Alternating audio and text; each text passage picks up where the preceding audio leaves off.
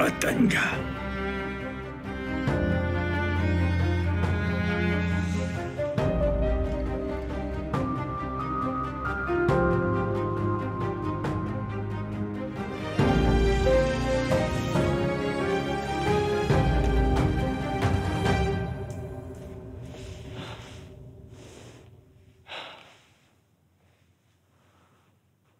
경찰이죠.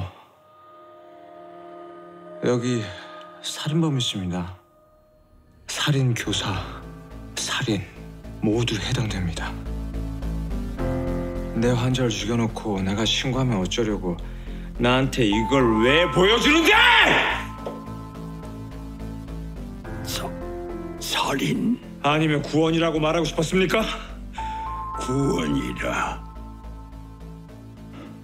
죽음이 뭐 그리 대단한 건가? 누구나 죽네. 하지만 누구나 평온하게 죽을 수 있는 건 아니야.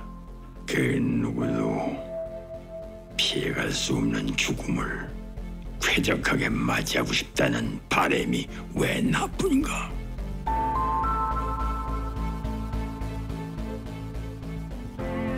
한 손엔 고통받는 환자가 다른 손엔 그 약이 주어진다면 어떤 선택을 하겠나?